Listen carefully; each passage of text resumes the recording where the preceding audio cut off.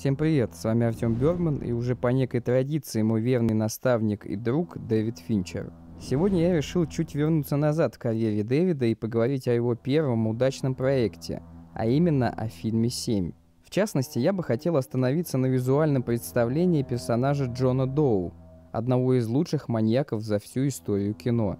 Из этого видео вы узнаете, как Финчер создавал зловещий рисунок персонажа Кевина Спейси – и какими приемами он это делал.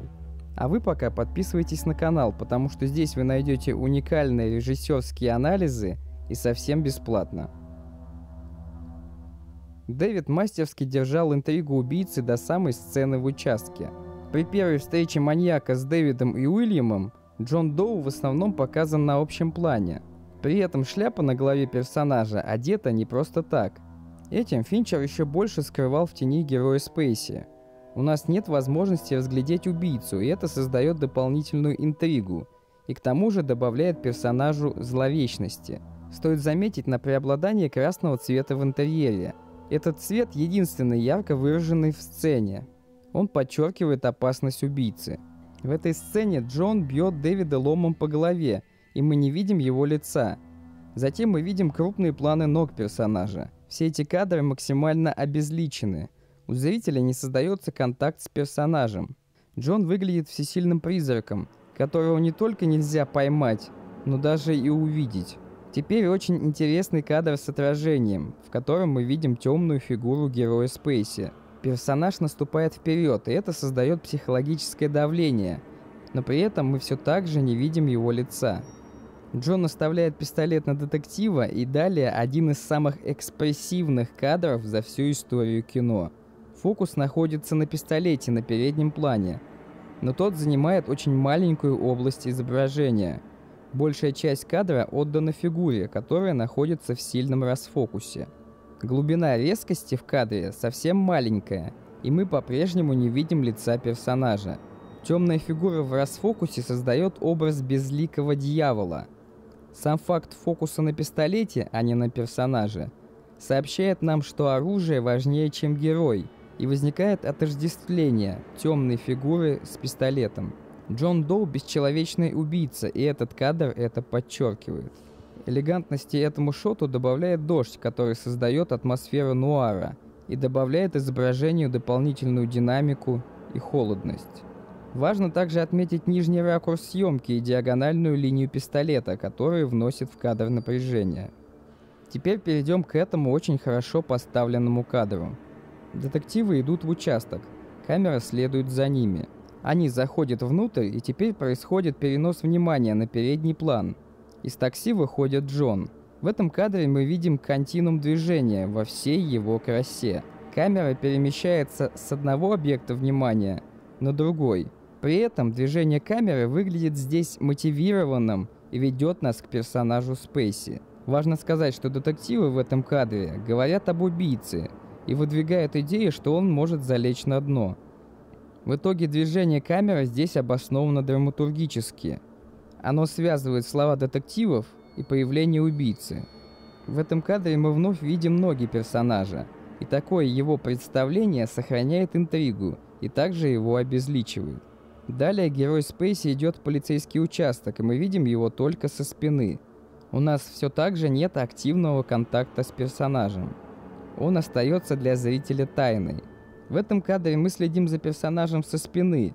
И обратите внимание, что Финчер подчеркивает кровь на рубашке героя, и лишь затем камера поднимается вверх на затылок.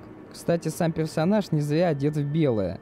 Во-первых, кровь отлично выделяется на светлом фоне, а во-вторых, персонаж решил сдаться. Это идет в конфликт с темным плащом и шляпой героя из прошлой сцены. Также важно обратить внимание на смену погоды. Раньше большую часть фильма шел дождь, а теперь солнечно. Изменение погоды смотрится неожиданно, так же как и сюжетный поворот, в котором убийца идет сдаваться. Даже на этом плане тяжело разглядеть Джона, тем более фокус на Дэвиде и Уильяме. Финчер держит интригу до конца и этим возбуждает интерес зрителя. Затем он дает реакцию копов и только потом мы видим первый кадр фас персонажа Спейси. режиссер максимально долго оттягивал кадр с маньяком. В этом кадре Финчер акцентирует наше внимание наездом камеры. План фаз раскрывает нам героя и делает это самым эмоциональным способом. Стоит обратить внимание, что в кадре используется нижний ракурс на персонажа, который добавляет ему опасности. Теперь рассмотрим освещение этого крупного плана. Свет идет в основном от окна позади персонажа. Само лицо больше в тени, но при этом есть маленькие блики в глазах. Такой тональный рисунок создает зловещее чувство. Блики в глазах при существенной разнице в экспозиции фона и лица отлично играют на драму, и нам кажется, будто персонаж что-то задумал. Также стоит упомянуть нижний ракурс в этом кадре, который добавляет напряжение. Далее Джон одет в валую тюремную одежду, которая максимально приближена к цвету крови. Стоит заметить, что вокруг лишь нейтральные темные тона, и этот красный нечем уравновесить. Финчер ставит акцент на героя Спейси таким выделением цвета. В диалоге в машине режиссер показывает Джона в основном полностью фас, при этом через тюремную решетку.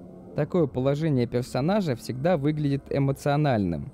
Герой Спейси очень спокоен, несмотря на то, что он сидит в клетке, которая его перекрывает – Большую часть сцены убийца показан крупнее, чем персонаж Брэда Питта, с которым в основном он и ведет диалог. Джон контролирует ситуацию, несмотря на то, что сидит в клетке. Финчер подчеркивает это планом фаз и крупностью. Теперь перейдем к финальной сцене. Посмотрите на этот кадр. В нем мы видим очень низкую точку съемки, которая возвеличивает Джона. При этом основной источник света сзади – и мы видим божественный нимб над головой персонажа. Это отлично играет на драматургию, ибо убийца возомнил себя богом, убивающим за смертельные грехи. А в этой части сцены Финчер показывает Джона на сверхкрупном плане, в то время как Дэвида значительно общее. Убийца полностью контролирует ситуацию. Разница в крупности в монтаже это подчеркивает. Убийство героя Спейси происходит на общем плане – после очень напряженных крупных. Этим режиссер создает очень резкий переход после эмоциональных крупников к обезличенному общему плану. Это создает акцент на кадре с убийством. Теперь давайте немного подытожим. Для визуального представления персонажа Кевина Спейси Финчер использовал красный цвет, обезличенные кадры, по которым нельзя понять, кто на них, нижний ракурс съемки, контровое освещение и контраст в крупности кадров относительно других персонажей. Именно этими приемами Дэвид визуализировал дьявольскую сущность персонажа Кевина Спейси. А с вами был Артем Бергман. Всем спасибо за просмотр. Подписывайтесь на мой канал, ставьте палец вверх и, конечно же, пишите свои комментарии и впечатления по этому фильму – Всем пока!